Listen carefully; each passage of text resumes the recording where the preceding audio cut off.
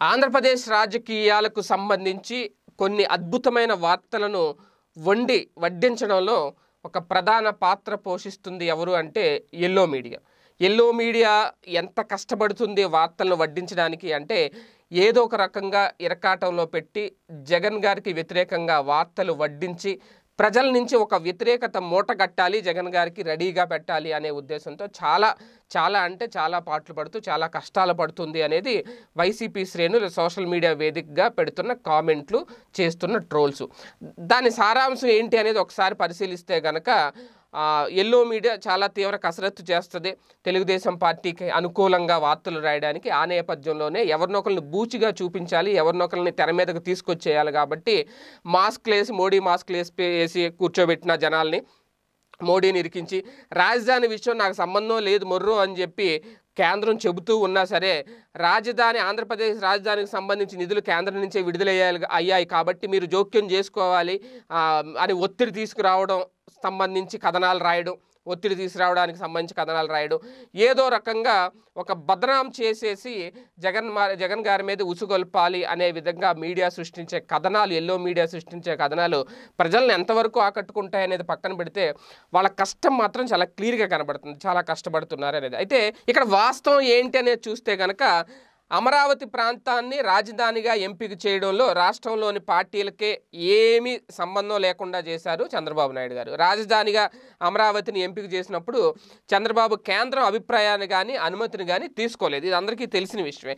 రాజధానిగా అమరావతిని ఏకపక్షంగా నిర్ణయించేసి అసెంబ్లీలో ప్రకటించేశారు అనేది ఇప్పటికీ అందరూ చెప్పుకొస్తూ ఉంటారు.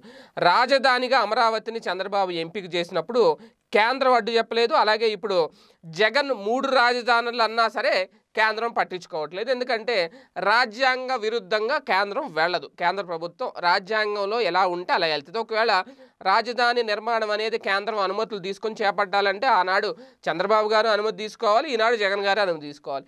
లేదు కాబట్టి అప్పుడు ఆయన తీసుకోలేదు ఇప్పుడు ఈయన తీసుకోలేదు. అప్పుడు ఆయన తీసుకోలేనప్పుడు ఎలాంటి ప్రెజర్ లేదు కానీ ఇప్పుడు ఈయన తీసుకున్నప్పుడు మాత్రం కేంద్రం రావాలి కేంద్రం జోక్యం చేసుకోవాలి దీన్ని అడ్డుకోవాలి. ఇది ఇది ఎల్లో మీడియా ఎప్పటికప్పుడు తాజాగా తాజా వార్త తాజా వార్త అంటూ వండి వడ్డించే వార్తలు.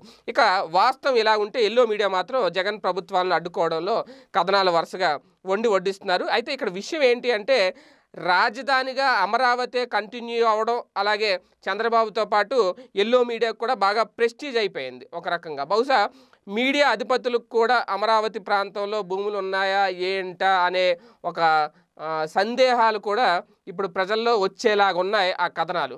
అంత దారుణంగా వండి వడ్డిస్తున్నారు.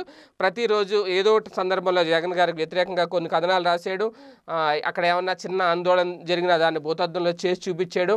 ఎక్కడ ఆందోళన తగ్గిపోతుంది అనుకునే టైంకి వీళ్ళే అక్కడుండి వాళ్ళని ప్రోత్సహించి వాళ్ళని ఇంకా రెచ్చగొట్టి ఆందోళన చేసేలాగా ఎక్కడ ఆ వేడి తగ్గిపోద్దో ఆ ఆందోళన వేడి ఎక్కడ తగ్గిపోతే మళ్ళీ ఎక్కడ ఉద్యమం నీరు కారిపోద్దో నిరసన ఉద్యమం కారి నీరు కారిపోద్దో ప్రభుత్వం మీద ఒత్తిడి ఎక్కడ తగ్గిపోద్దో అదే తగ్గిపోతే కనుక మీ మేము కథనాలు ఎలా రాయాలి ఇంకా రాయడానికి ఏముంటాయి ఏమీ లేకుండా ఏ ఆధారం లేకుండా ఆధారం లేకపోయినా రాసిస్తారనుకోండి ఏ ఆధారం లేకుండా ఆ తోక పట్టుకుని రాయాలంటే కష్టం అవుతుంది కదా ఆ తోకైనా ఉండాలని చెప్పి ఏదో రకంగా నానా తంటాలు పడి కింద మీద పడి నానా అవస్థలైతే ఎల్లో మీడియా పడుతుంది అనేది ప్రస్తుత పరిస్థితుల సారాంశం. దాన్నే వైసీపీ శ్రేణులు విభత్సంగా విమర్శిస్తున్నారు. ఏది ఏం జరిగినా జగన్మోహన్ రెడ్డి గారు అయితే మాత్రం అనుకున్నది చేసుకుంటూ ముందుకు వెళ్ళిపోతారని చెప్పడంలో ఎలాంటి సందేహం అవసరం లేదు. కాబట్టి ఎల్లో మీడియా కష్టాలు ఎల్లో మీడియా జగన్ గారి నిర్ణయాలు జగన్ గారి.